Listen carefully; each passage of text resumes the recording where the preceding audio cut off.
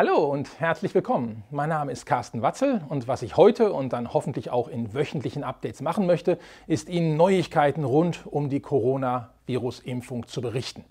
Fangen wir auch mit den guten Nachrichten an. Aktuell haben wir über eine Million Geimpfte hier in Deutschland. Das ist natürlich auf die Gesamtbevölkerung immer noch mal gerade ein gutes Prozent, aber zeigt, dass wir auf einem guten Weg sind, über die Impfung die Pandemie hoffentlich in den Griff zu bekommen. Wenn wir jetzt so viele Geimpfte haben, stellt sich natürlich die Frage, sehen wir jetzt Nebenwirkungen, die wir vielleicht in der Impfstudie noch nicht gesehen haben? Und das ist eine Aufgabe des Paul-Ehrlich-Instituts. Die sammeln solche Meldungen über mögliche Nebenwirkungen der Impfung und die haben jetzt auch schon einen ersten Sicherheitsbericht veröffentlicht. Das machen sie normalerweise bei Impfungen nicht und zeigt, wie proaktiv auch hier wiederum mit den Daten der Geimpften umgegangen wird, um hier möglichst offen und transparent zu sein. Da hat sich gezeigt, es gab äh, gute 300 Meldungen von solchen Nebenwirkungen. Das betrifft also ungefähr 5 von 10.000 Geimpften, was da gemeldet wurde. Was wurde da gemeldet? Es wurden überwiegend Kopfschmerzen gemeldet, Schmerzen an der Einstichstelle und andere Sachen. Alles Sachen, was wir schon aus der klinischen Studie wussten und was auch darauf hindeutet, dass die Impfung so wirkt, wie sie wirken soll, nämlich eine Immunreaktion auszulösen. Es gab auch sechs Fälle von schweren allergischen Reaktionen. Das betrifft also einen von ungefähr 100.000 Geimpften, also ein seltenes Ereignis, was auch sehr gut medizinisch therapiert werden kann. Es gab auch sieben Todesfälle. Das betraf Personen im Alter von 79 bis 93 Jahre. Statistisch wäre so eine Zahl ehrlich gesagt auch zu erwarten gewesen, wird auch so vom Paul-Ehrlich-Institut gesagt. Und die meisten Leute sind an Vorerkrankungen gestorben und bisher gibt es keinen Hinweis darauf, dass irgendeiner von diesen Todesfällen ursächlich mit der Impfung zusammenhängen würde. Also zusammenfassend kann man sagen, das sagt auch das Paul-Ehrlich-Institut, es gibt keine neuen Signale für irgendwelche neuen Nebenwirkungen, die bisher noch nicht bekannt gewesen wären. Die meisten Leute sagen dann, ja, aber was ist denn jetzt mit den Langzeitfolgen? Und dann frage ich immer, was meinen Sie denn unter Langzeitfolgen? Und dann sagen sie, ja, das könnte ja sein, dass in, innerhalb von Monaten oder vielleicht auch Jahren nach der Impfung noch Nebenwirkungen auftreten, die man bisher so noch nicht gesehen hat und die viele Leute betreffen könnten. Und davor haben die Menschen Angst. Und da muss man ganz klar sagen, so etwas gibt es nicht. Es gibt nicht etwas, was erst Monate oder Jahre nach der Impfung auftritt und was einen Großteil der, äh, der Geimpften betreffen würde. Das sind, was wir unter Langzeitfolgen verstehen, sind seltene Ereignisse, die nur bei einem Bruchteil der Geimpften vorkommen und die bei den Betroffenen aber lang anhaltende Folgen verursachen. Das berühmteste Beispiel und auch das schlimmste Beispiel aus der jüngsten Geschichte ist die Narkolepsie nach der Schweinegrippenimpfung. Das betraf ungefähr einen von 20.000 Geimpften, also ein seltenes Ereignis.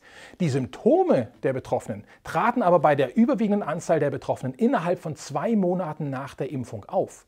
Und das ist der Beobachtungszeitraum, den wir schon bei den klinischen Studien zu den Covid-Impfstoffen haben. Das heißt, wenn da irgendetwas mit einer hohen Frequenz aufgetreten wäre, hätten wir das schon gesehen.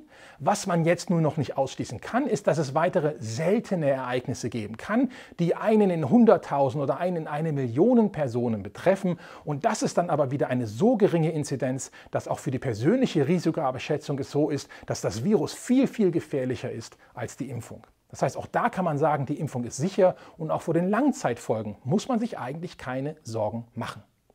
Jetzt möchte ich noch kurz zu Fragen eingehen. Die erste Frage ist, kann die Covid-19-Impfung unfruchtbar machen? Und da muss man sagen, nein, es gibt bisher keine Hinweise, dass das irgendwie der Fall sein könnte. Hat es auch in vorherigen Impfungen nie gegeben. Und das sind ehrlich gesagt Gerüchte, die von Leuten gestreut werden, die andere verunsichern möchten, aus welchem Grund auch immer.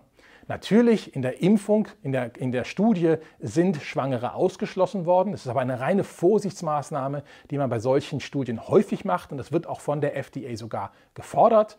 Ähm, Dementsprechend haben wir natürlich wenig Daten zu Schwangeren aus den Studien und in Deutschland ist die Impfung deshalb auch für Schwangere nicht empfohlen.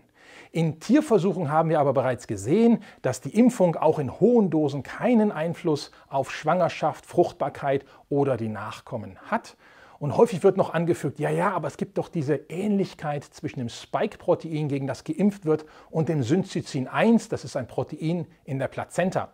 Und da muss man sagen, biologisch gesehen ist diese Ähnlichkeit so gering, dass sie bedeutungslos ist. Auch da gibt es wissenschaftlich überhaupt keinen Grund anzunehmen, dass es da zu irgendwelchen Problemen kommen könnte. Von daher kann man sagen, nein, die Covid-19-Impfung macht nicht unfruchtbar. Die zweite Frage ist, kann ich trotz Impfung Covid-19 übertragen? Und dazu muss man erstmal verstehen, wie übertrage ich eigentlich das Virus. Das übertrage ich, indem ich das Virus aufnehme und sich das Virus in den Zellen meines Atemwegsorgans vermehrt. Und dann habe ich irgendwann so viel Virus in diesen Zellen vorliegen, was auch wieder freigesetzt wird, dass ich das wieder abgeben kann und andere Leute infizieren kann.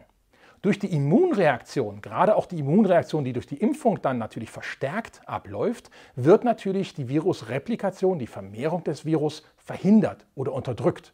Ob sie jetzt komplett verhindert wird, dass überhaupt kein Virus in mir entsteht und ich deshalb auch überhaupt kein Virus weitergeben kann, das weiß man noch nicht. In den Affenversuchen war das so. Ob das im Menschen auch so ist, weiß man im Moment noch nicht. Es könnte auch sein, aber dass die Immunreaktion das Virus zwar in Schach hält, sich nicht mehr stark vermehren kann, aber ich trotzdem noch ein bisschen was abgeben könnte, dann könnte ich rein theoretisch noch infektiös sein und darüber geht im Moment diese Diskussion. Aber wahrscheinlich bin ich auf jeden Fall weniger infektiös als jemand, der überhaupt nicht geimpft ist.